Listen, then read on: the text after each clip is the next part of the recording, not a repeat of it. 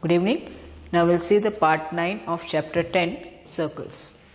जिसमें हम देखते हैं एक्सरसाइज 10.5 का question seventh Now in question 7th it is given that if the diagonals of the cyclic quadrilateral diameters of the circle here it is given ABCD is a cyclic quadrilateral and AC and BD जो diagonals है these are given diameters of the circles. So we have to prove that it is a rectangle then we have to prove that the quadrilateral ABCD is a rectangle. ठीक है? तो rectangle proof करने के लिए उसका definition क्या था rectangle का? A parallelogram in which one angle is 90 degrees is called as a rectangle तो हमको इसके पहले क्या करना पड़ेगा? ए बी सी डी जो कॉर्डिलेटरल है, उसको पहले पैरेललोग्राम प्रूफ करना पड़ेगा। और फिर प्रूफ करना है कि वन एंगल उसका 90 डिग्रीज है। ठीक है? तो इसमें देखो, इसमें आपको दिया है circle with centre O then A B C D is cyclic quadrilateral दिया हुआ है and A C and B D are the diameters of cyclic quadrilateral So we have to prove ABCD is a rectangle.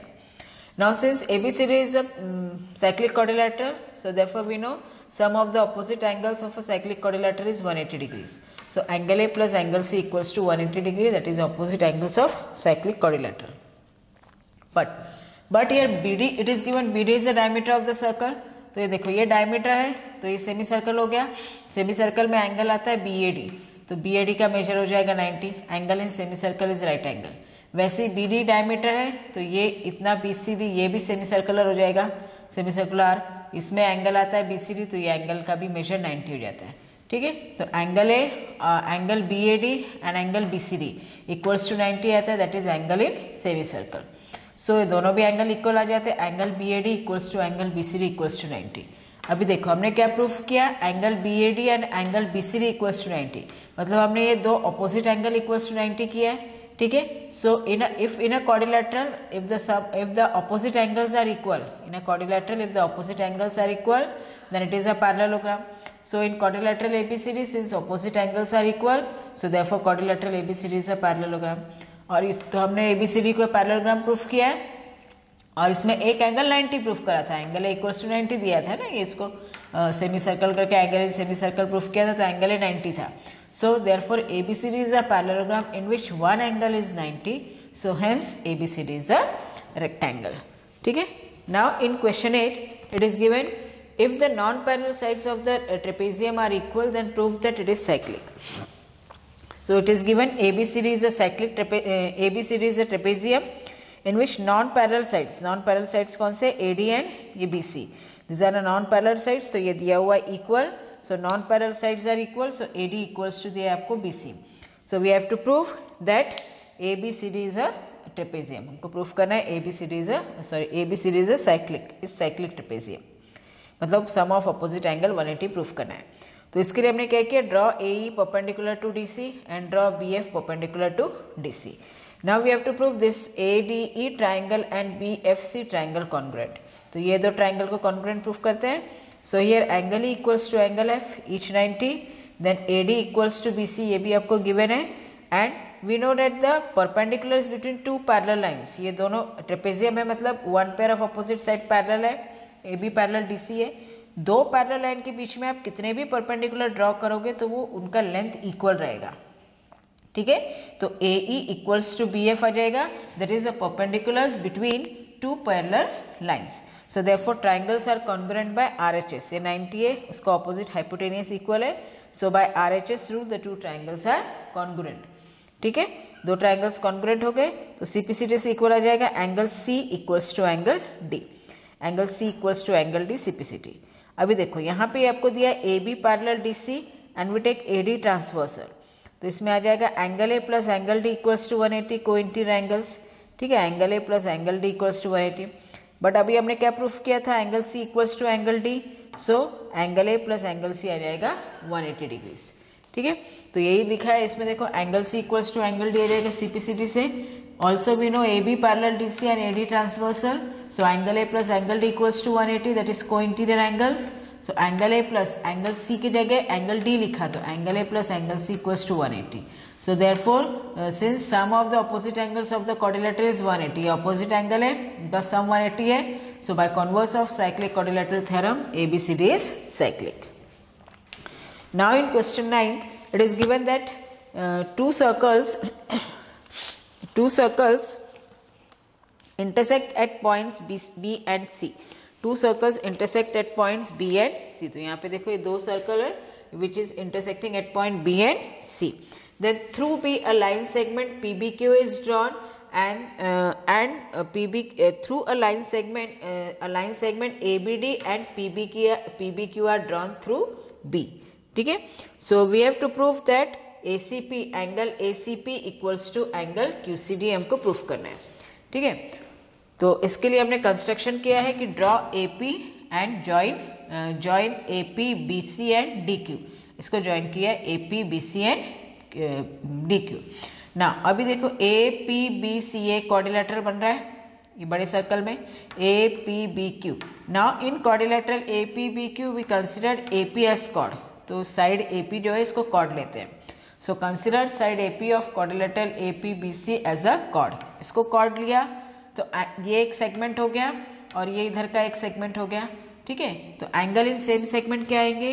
A P cord लिया। तो कौन सा आएगा? ये एक एंगल आएगा। ठीक है? एपी कॉर्ड लिया तो ये एक एंगल आएगा। That is angle A B P ये एक एंगल हो गया और एपी कॉर्ड लिया तो ये दूसरा एंगल आता है। That is A C P so angle A C P equals to angle A B P that is angles in same segment ठीक है? वैसे ही डी क्यू कॉर्ड लिया D Q consider side D Q of quadrilateral B D Q C as a chord अभी D Q को chord लिया तो कौन से एंगल्स आते हैं? एंगल इन सेम सेगमेंट ये आता है। डी क्यू बी ये ये क्यू बी डी ये एक एंगल आता है डी बी क्यू और दूसरा आता है, ये क्यू सी डी ये देखो क्यू सी डी ठीक है डी क्यू कॉर्ड लिया तो क्यू सी डी तो ये दोनों भी एंगल इक्वल आ जाते हैं, ठीक है? तो इसमें ये एंगल और ये एंगल है ए पी कॉर्ड लिया था और इसमें ये एंगल और ये एंगल है, ठीक है? ये और ये एंगल है, जब हमने डी क्यू कॉर्ड लिया तो बट ये देखो, ये दो लाइन सेगमेंट दी थी आपको जो बी से पास हो रही थी A B A B P Q and A B D तो ये this two line segments are intersecting at point B so, they form a vertically opposite angle, pair of vertically opposite angles, and we know pair of vertically opposite angles are equal. तो ये जो angle है A B P and D B Q ये दोनों भी angle equal आ जाएँगे. ठीक है?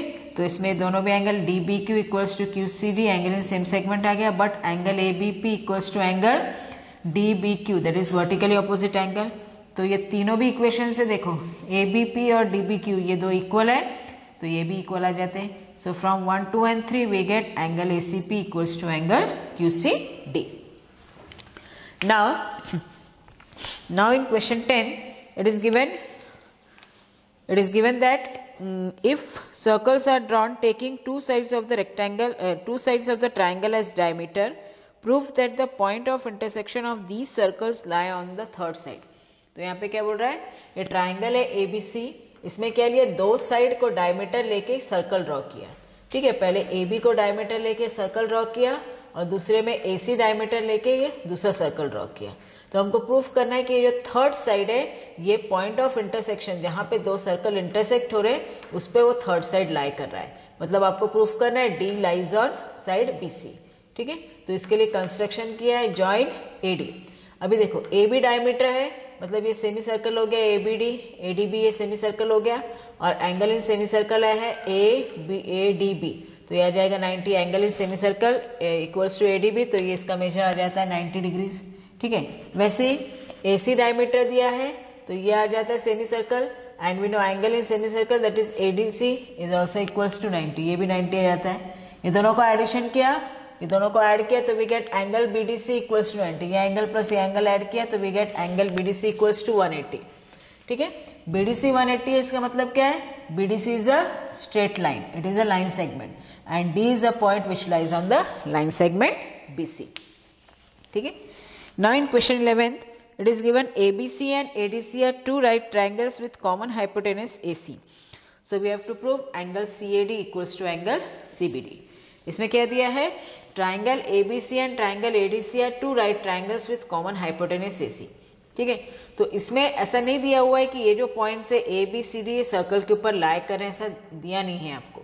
तो पहले हमको प्रूफ करना पड़ेगा कि ये सभी पॉइंट्स कॉन्साइक्लिक हैं। कॉन्साइक्लिक मतलब एक ही सर्कल के ऊपर लाई कर रहे हैं। वो हमको प्रूफ करना है। ठीक है? सर्कल के ऊपर सारे पॉइंट्स लाई कर रहे हैं तो हमको प्रूफ करना है पहले कि ये जो पॉइंट्स है A B C D these are concyclic तो उसके लिए देखो ये एंगल बी नाइनटी दिया एंगल डी नाइनटी दिया है। ठीक है? मतलब एंगल बी नाइनटी है और एंगल डी नाइनटी और ए सी डायमीटर है। ठीक है? एंगल बी नाइनटी इसका मतलब क्या है? Circle circle with A C as diameter with A C as diameter passes through point B and D ठीक है? ए सी डायमीटर लिया है और एंगल ये ड्रॉ किया तो सेमी सर्कल हो गया तो इसमें एंगल 90 आ जाता। है वैसे ए सी डायमीटर लिया ये दूसरा सेमी सर्कल आता है, इसमें एंगल ये 90 आ जाता है। इसका मतलब क्या है? With A C as a diameter we have drawn a circle which passes through the point B and D ठीक है? So with AC as a diameter, we have drawn a circle which passes through the point B and D. So hence, A, B, C, D, they are all concyclic points तो A B C D are concyclic points B और D अगर lie करें तो obviously ए सी भी लाई करेंगे, क्योंकि वो diameter लिया है उसको। ए सी डायमीटर है क्योंकि ये 90 है तो इसका मतलब ए सी डायमीटर हो गया। ठीक है? एंगल इन सेमी सर्कल ठीक है? So therefore we say that A B C D this all four points are concyclic points concyclic मतलब वो एक ही सर्कल पे लाई कर रहे हैं सारे पॉइंट्स नाउ कंसिडर डीसी अभी इसको बीडी को ज्वाइन कर दिया हमने now consider DC side DC of quadrilateral ABCD as a chord अभी डीसी को आपने कॉर्ड लिया। तो कौन से एंगल आते हैं? एंगल इन सेम सेगमेंट ये आता है सी ए डी ये सी ए डी और दूसरा आता है C B D C B D ठीक है? तो ये आ जाएगा angles in same segment C D chord लिया तो ये एक सेगमेंट और ये एक सेगमेंट तो ये दोनों भी angle angle in same segment आते हैं. So angle C A D equals to angle C B D that is angles in same segment now in question twelve it is given prove that a cyclic parallelogram is a rectangle we have to prove that cyclic parallelogram is a rectangle तो यहाँ पे दिया है A B C D is cyclic parallelogram मतलब A B C D आपको parallelogram भी दिया है और साइक्लिक भी दिया है। तो हमको प्रूफ करना है A B C D is a rectangle now since A B C D is cyclic ये साइक्लिक है इसका मतलब opposite sum of opposite angle is 180 degree तो, angle A plus angle C equals to आ जाएगा 180 degrees that is opposite angles of cyclic quadrilateral इसको दे दिया equation one now it is given but A B C D is a parallelogram parallelogram दिया है, इसका मतलब क्या है? ऑपोजिट एंगल इक्वल्स दिए therefore angle equals to angle C that is opposite angles of parallelogram ठीक है? तो angle equals to angle C है तो इसमें रख दिया हमने। तो ये हो जाता है twice of angle equals to 180 so we get angle equals to 90 इसका मतलब क्या है? ABCD is a parallelogram in which one angle is 90 degrees so hence ABCD is a rectangle. ठीक है? सो वी proved that a cyclic parallelogram is a rectangle. Okay. Thank you